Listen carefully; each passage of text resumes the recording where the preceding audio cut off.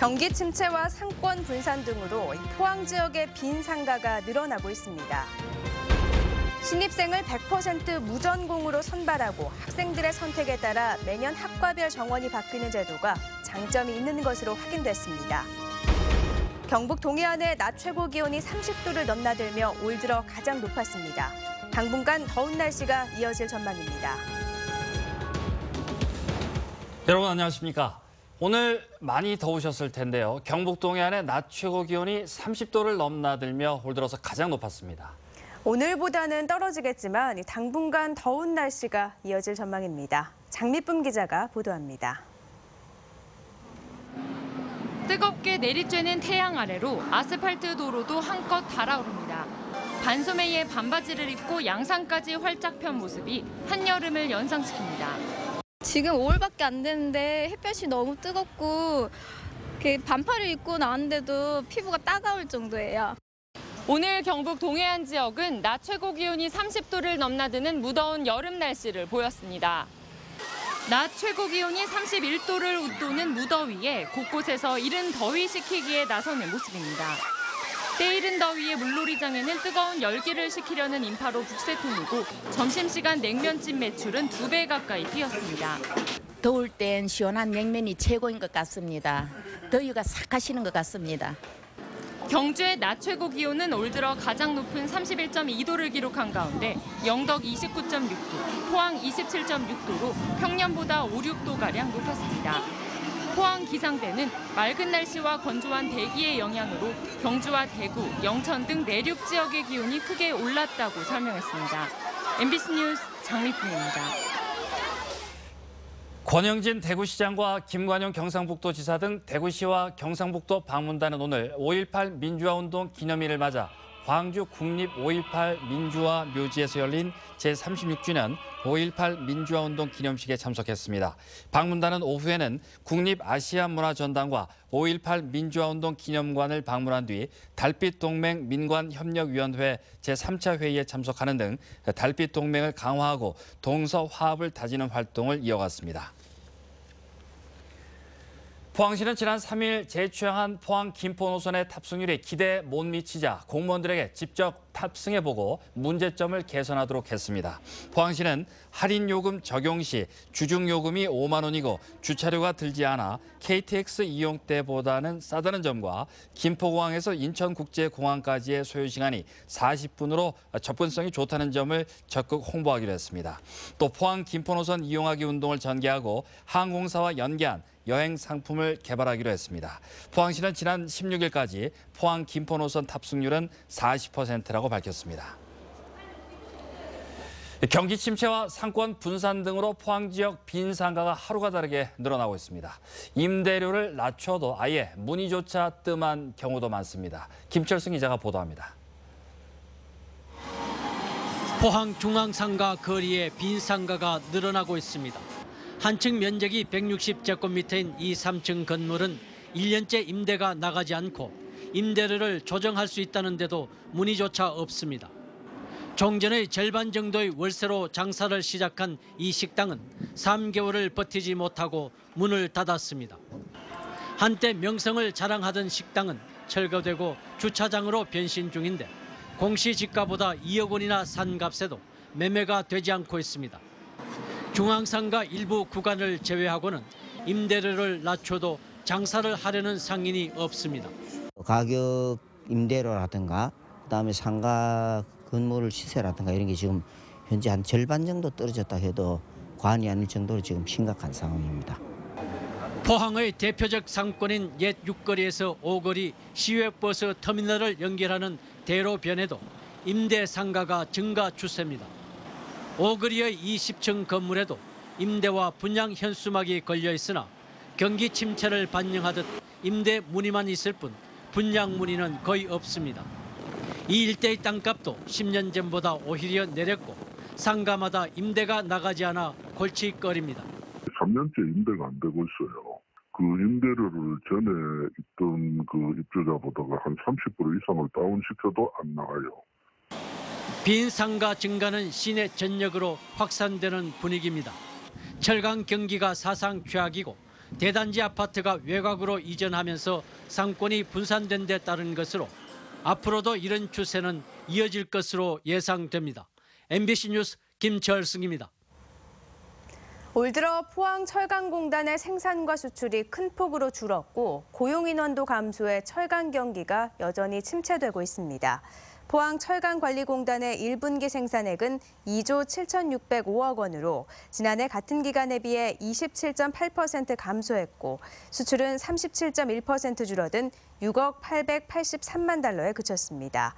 포항공단 내 고용 인원도 15,031명으로 지난해 1분기에 비해 무려 945명이 감소했습니다. 신입생은 100% 무전공으로 선발하고 학생들의 선택에 따라 매년 학과별 정원이 바뀌는 대학이 있습니다. 탄력적인 교육 시스템 운영이 가능해 융합형 인재를 키우는 데도 장점이 있습니다. 이규설 기자입니다. 한 대학의 디자인 학부 수업 시간 학생들이 팀을 짜 교내 시설의 이모티콘을 직접 디자인합니다. 사람들이 심플한 디자인을 보고도 한눈에 알아볼 수 있게 다른 대학의 디자인 전공자는 고교 때부터 미술을 공부한 학생이 대부분이지만 이 학교는 다릅니다. 일반 교교의 인문계나 자연계 출신들이 무전공으로 대학에 들어온 뒤 자신의 적성을 따져 2학년 때 디자인 공부를 선택한 겁니다.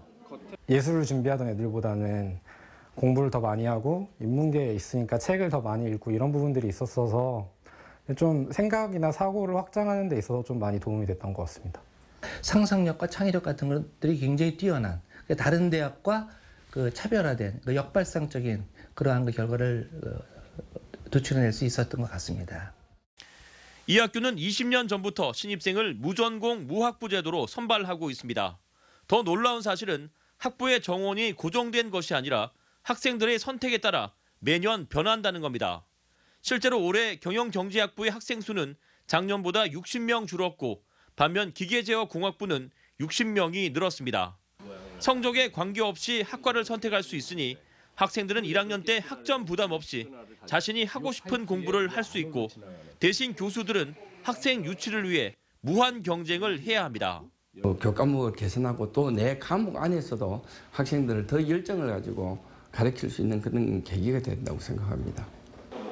실제로 기계제어공학부는 학생 유치를 위해 교수들이 수학 캠프를 열었고 공간 환경 시스템 공학부 교수들은 기부금 30억 원을 유치해 학부 전용관 건립에 들어갔습니다.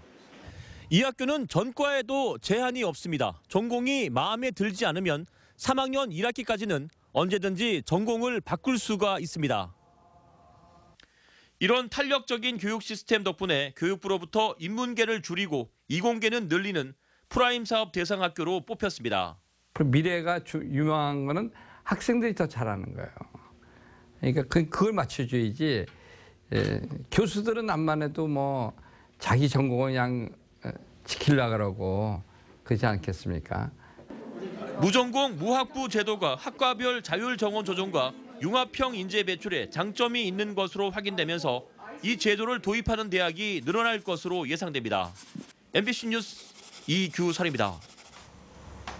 경주 환경운동연합은 성명을 내고 정부가 월성원전에 사용 후 핵연료 저장 시설을 추가로 지으려 한다며 건설 계획을 백지화하라고 주장했습니다. 환경운동연합은 지난달 26일 한수원과 산자부가 원자력안전위원회에 월성원전의 사용 후 핵연료 건식 저장 시설 추가 건설 허가 신청을 냈다며 이는 경주의 고준위 핵폐기물 방패장을 짓지 않겠다는 기존의 약속을 뒤집는 것이라고 비판했습니다. 또 사용 후 핵연료 저장 시설은 명백한 위험 시설임에도 불구하고 평범한 원자력 관계 시설로 취급해 시민 안전에 위협이 되고 있다고 밝혔습니다. 올 초부터 청년 실업률이 사상 최고치를 경신하고 있는 가운데 경북 남부권의 청년 취업을 책임질 대학 창조 일자리 센터가 대구대학교에 문을 열었습니다. 지역 대학생들의 취업난 해소에 다소나마 도움이 될 것으로 기대됩니다. 박지영 기자가 취재했습니다. 지난달 청년 실업률은 10.9%, 4월 기준으로 역대 최고치를 기록했습니다. 이 같은 현실을 반영하듯 각종 일자리 박람회장은 취업 준비생들로 발 디딜 틈이 없습니다. 네, 이제 3년 상이 되니까 이제 약간 느낌이 오고 취업의 문턱이 좀 많이 높은 것 같아요. 거의 원서는 많이 넣는데 하는 것마다 떨어지고 하니까. 취업에 관련된 정보가 부족한 지역 대학생들의 어려움은 훨씬 큽니다.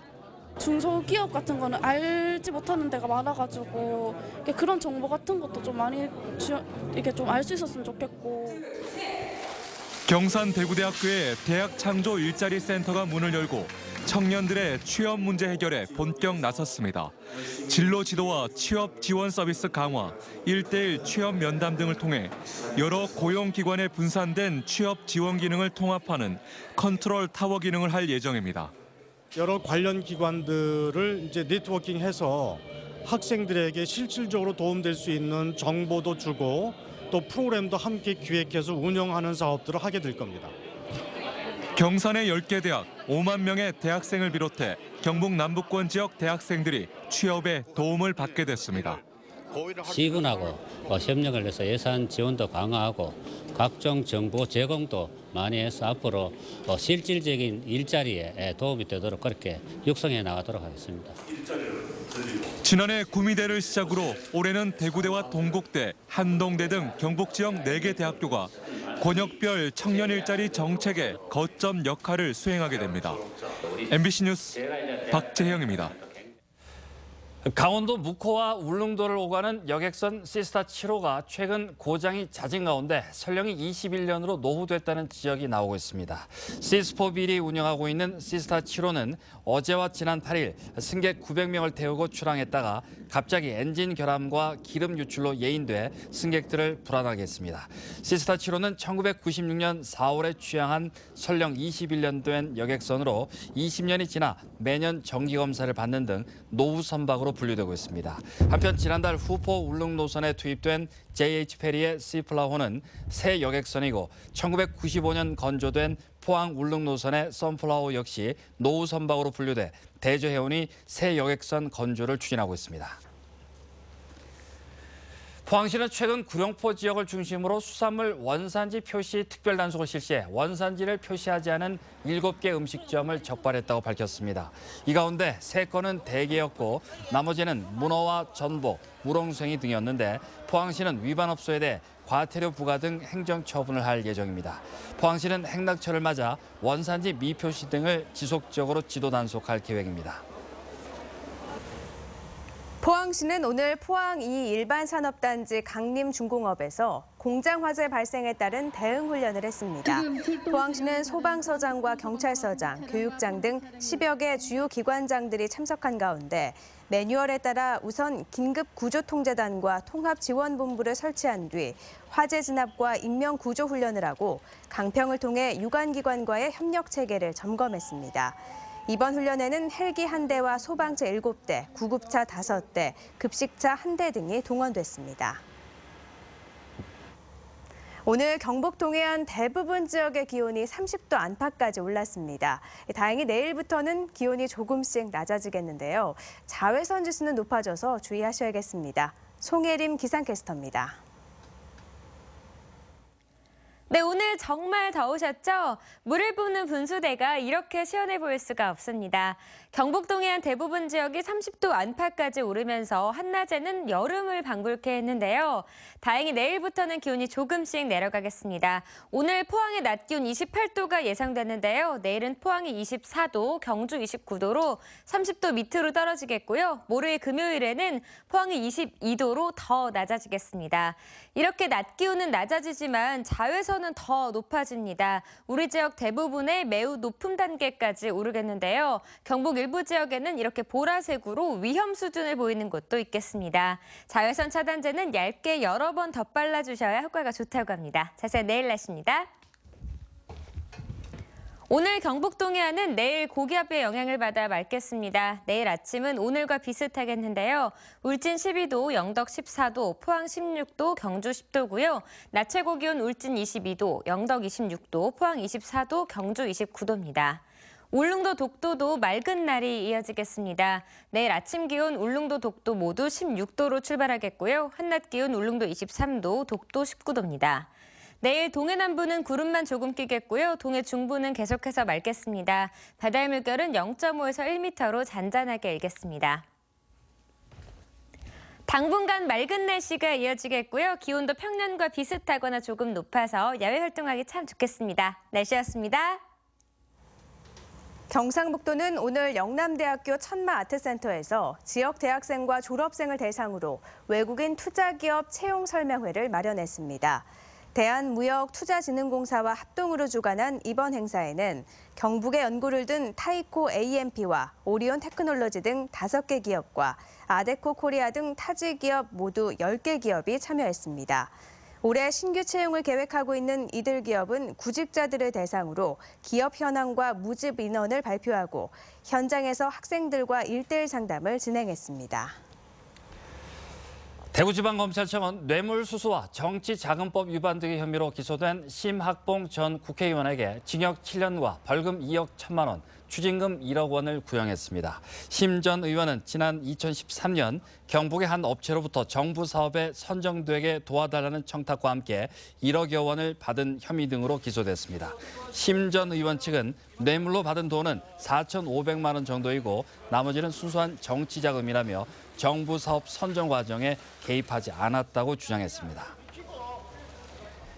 울진군의회는 제211회 임시회를 열어 6,500억 원 규모의 1회 추경 예산안을 심의 의결했습니다. 이번에 심의 의결된 예산은 1회 추경 6,502억 원과 지방 공기업 상수도 사업 특별회계 362억 원 등입니다.